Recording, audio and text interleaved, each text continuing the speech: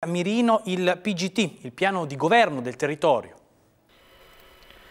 A poche settimane dal voto del 25 maggio, la campagna elettorale pavese si fa sempre più aspra e a finire nel mirino è ancora una volta il PGT, il piano di governo del territorio, adottato dal Consiglio Comunale il 20 dicembre del 2012. Un piano stravolto nella sua versione finale, come attacca l'associazione Italia Nostra, che ha addirittura inoltrato un ricorso straordinario al Presidente della Repubblica, assieme a Pavia Monumentale e al gruppo Insieme per Pavia. Se il PGT adottato nel 2012 si limitava ad interventi su aree libere, privilegiando la riqualificazione di ambiti già compromessi, compromessi da precedenti trasformazioni edilizie, nella sua estensione finale, come si legge nel ricorso, abbandona il criterio della limitazione del consumo di suolo, stravolgendone le previsioni in termini sia qualitativi sia quantitativi, un recupero di edifici già esistenti dunque, ma una serie di interventi che provocheranno un aumento delle superfici edificabili di diverse migliaia di metri quadrati e l'ingombro di aree verdi fino a circa 13 ettari complessivi, un piano che, sempre secondo Italia Nostra, ignora sentenze del Consiglio di Stato, numerose norme e leggi di carattere generale, regionali e statali